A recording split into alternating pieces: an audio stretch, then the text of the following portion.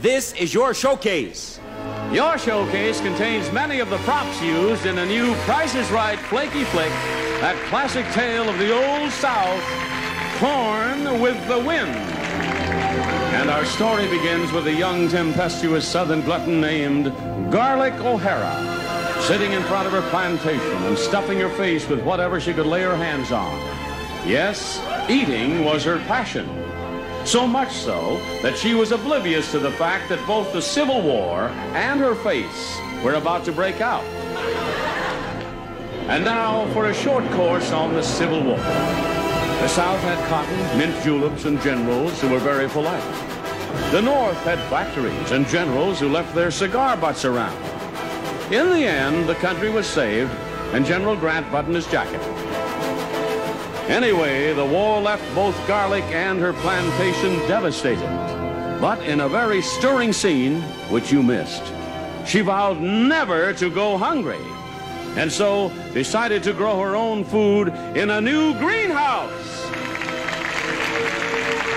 The full-size walk-in Casamini from Casaplanta. With built-in ultraviolet protection, the Casamini greenhouse comes equipped with 16 square feet of redwood plant tables and built-in vent control.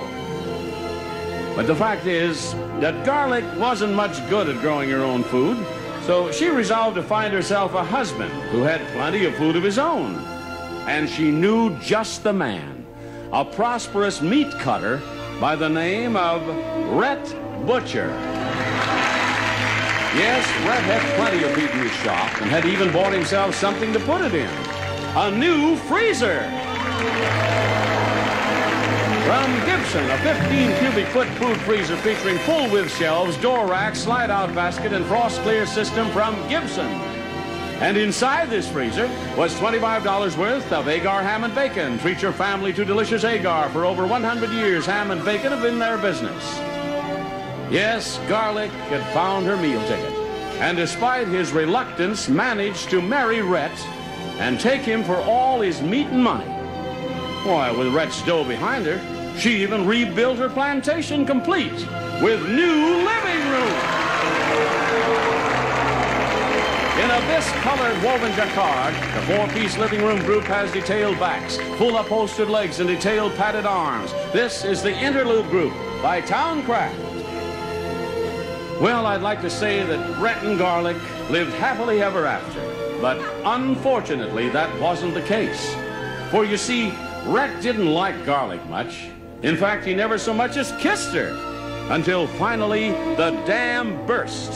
And in what was without question the dirtiest part of the book, Garlic dragged Rhett into their new. I can't say it. Okay, but we're going to get into trouble. Their new bedroom. An Italian Renaissance bedroom group, the Andorra by White Furniture. The set includes a high poster headboard in beautifully carved cherry wood, a highboy dresser, twin mirrors, and two nightstands. Well, that episode convinced Rhett that the only thing to do was to leave home, which was all right with Garlic as long as he agreed to leave her all that good meat. Will you leave me the beef? asked Garlic. And since Rhett didn't much like beef, he said, Sure, I'll give you the beef. Will you leave me the pork? asked Garlic. And since Rhett didn't much care about pork, he said, Sure, I'll give you the pork. But then Garlic asked if he would give her the ham. And it was then that Rhett saw the opportunity to utter filmdom's most famous line. He looked at Garlic and said, Frankly, my dear, I don't give a ham.